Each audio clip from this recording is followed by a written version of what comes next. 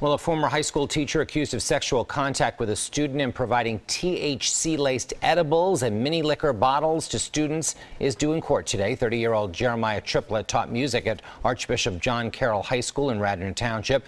Triplett has been on administrative leave since the investigation began.